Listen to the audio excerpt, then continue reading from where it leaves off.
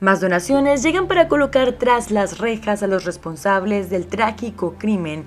La recompensa para quien ayude a ubicar al asesino del niño Aiden Leos de 6 años aumentó ahora a los 400 mil dólares. Una recaudación de fondos que comenzó inicialmente con una recompensa de 50 mil dólares ofrecida por la familia de Aiden Leos. Más tarde, dos supervisores del condado de Orange, el fiscal del distrito y empresas locales agregaron más dinero a la recompensa. El canal de noticias KTLA5 explicó que el dinero de la recompensa está vinculado con la información que conduzca al arresto y condena de la persona que mató a tiros al pequeño Aiden Leos cuando se dirigía al jardín infantil en la localidad de Yorba Linda.